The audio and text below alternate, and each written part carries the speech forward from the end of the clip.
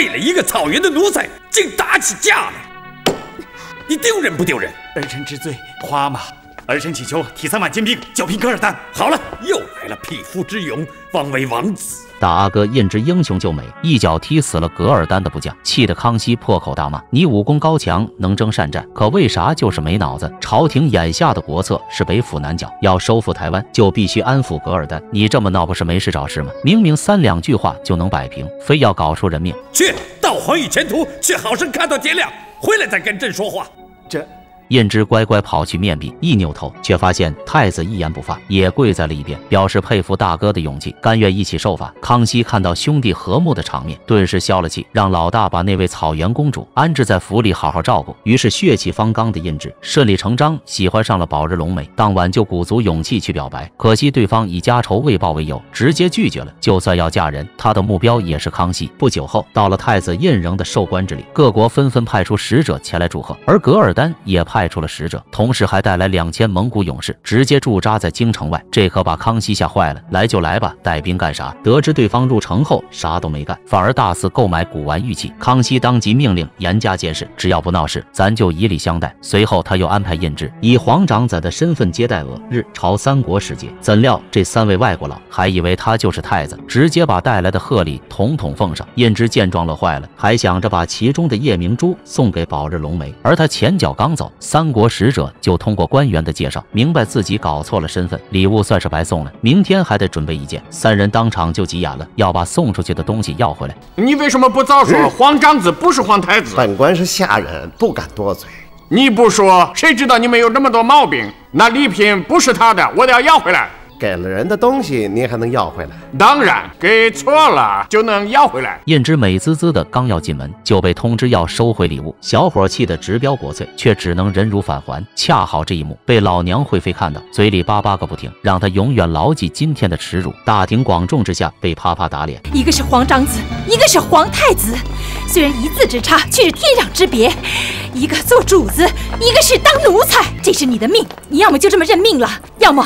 就跟命去争个高低。次日的太子寿官礼上，康熙正是接待三国使者，那三样本已到手又被讨回的礼物，在胤之面前绕过，送到了太子手里，无形打脸最为致命，气得他不顾礼节，扭头就走。官场失意的他，本想在白月光这里得到安慰，直接扑通跪倒，表示不想当皇子了，要带宝日龙梅回草原过二人世界。几句话直接把女孩打懵了，老子还要报国仇家恨呢，没空陪你玩。得知杀害自己老爹的凶手以噶尔丹使者的身份也来了京城，他直接抽刀架。在脖子上威胁胤之带自己去见皇上。宝日龙梅当着康熙的面哭诉部落被噶尔丹屠杀的惨剧，请他给自己三万铁骑报仇。康熙听后无动于衷，举着手里的书信问他知不知道内容。不知道。你父汗在临终前把你献给了朕，让你做朕的妃子。皇上，我愿意，我愿意，我愿意给您做妃子，求皇上收下我吧。你应该找一个更合适你。不，除了皇上。我谁都不爱，这一句话算是把燕之幼小的心灵彻底击了个粉碎。原来只有做皇帝才能得到一切想要的。完了完了完了完了！本都瞎了狗眼，丢了大人了，这可怎么办呢？哎呦喂，这下要是碰死了多好！额娘快来，你看。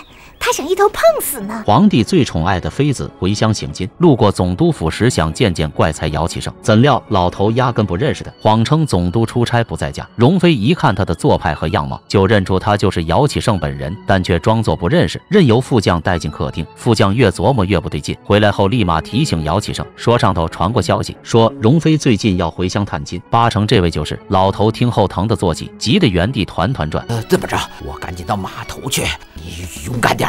继续装傻，不成，大人躲得了今儿个，躲不了明儿个呀。即使他不再来。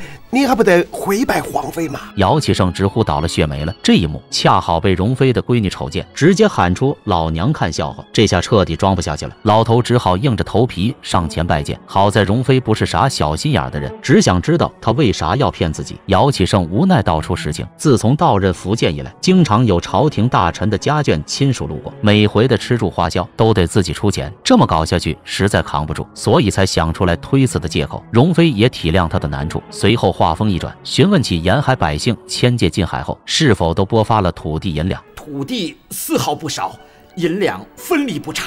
罢了，娘娘在本地有亲人，瞒是瞒不过去了。土地还缺八百亩，银两差三万余啊！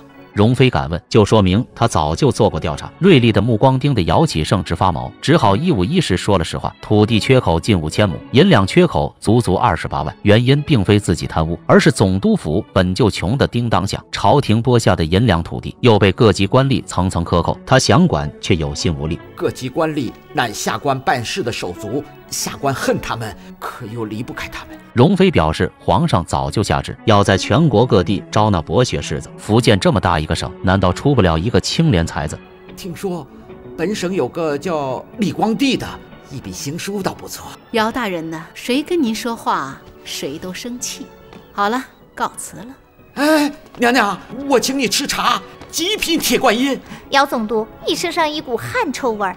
熏死我了！容妃探亲完毕后，准备回京，不料却在半路被一个穷书生拦住去路，手举一封万民书，上面盖着一万名孤儿的小手印。这人正是姚启圣口中的李光地。他声称，迁界禁海一年以来，海峡两岸越近越苦，越近越穷，田地荒芜，民不聊生，建议立刻取消迁界禁海，以和谈的方式解决台湾问题。容妃听着大为感动，直接掏 出身上二百两银子，让他暂解燃眉之急。回宫后，又将万民书交给康熙，讲述了。福建的所见所闻，朝廷的政令虽好，但是下头的官吏阳奉阴违，迁界封海的百姓有半数以上既失去旧土，又没有得到新田，那十两搬迁银子，真到了百姓手中的不足二两。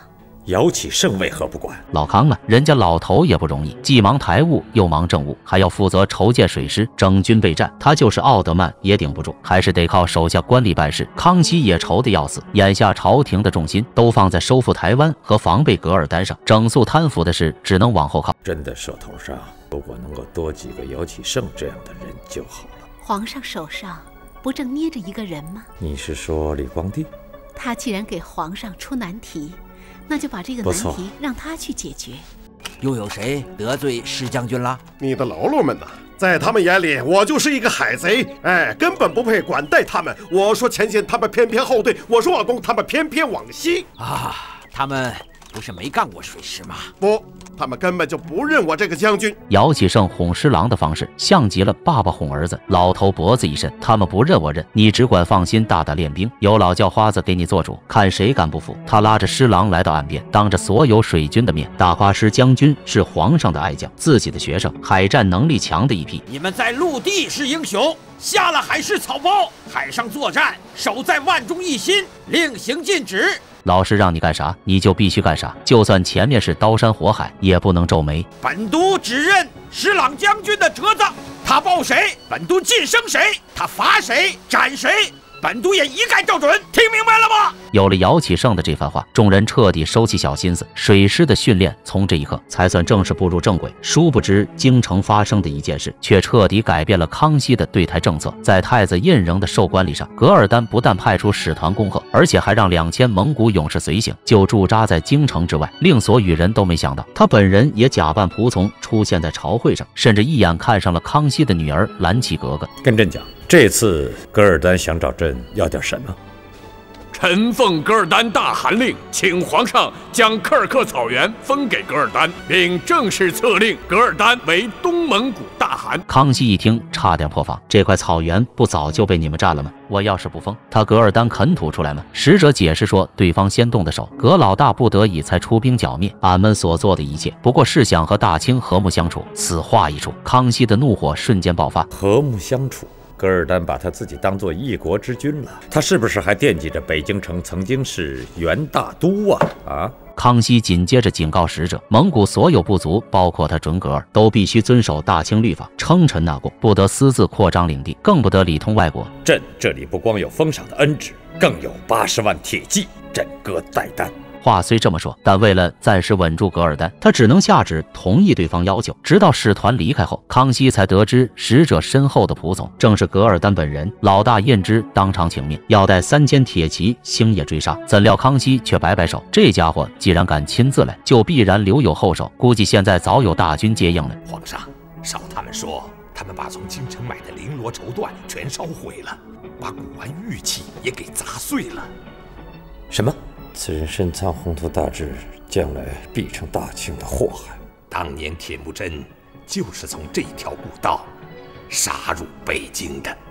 不行，台湾的事儿得马上解决，不能再拖下去了。